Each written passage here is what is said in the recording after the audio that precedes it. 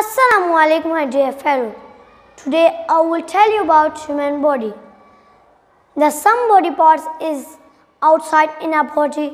These parts is called external parts. For example, eye. This is our eye. Hand, nose, ear and leg. Now I will tell you about the some body parts is inside in our body. These parts is called internal parts. First I will tell you about brain.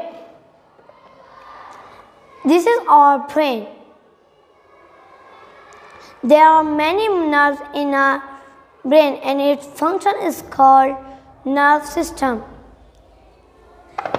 Do you know why its function is called nerve system? I will I will tell.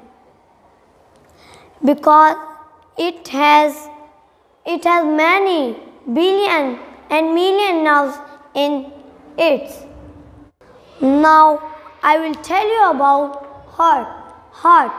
It pumps and supplies blood in our body and its function is called circulatory system. Now I will tell you about lungs. It helps us to take breath and its function is called respiratory system. Now I will tell you about stomach. The stomach digests our food and it digests our food in 4 hours and its function is called digestive system. Now I will tell you about skeleton. Bones.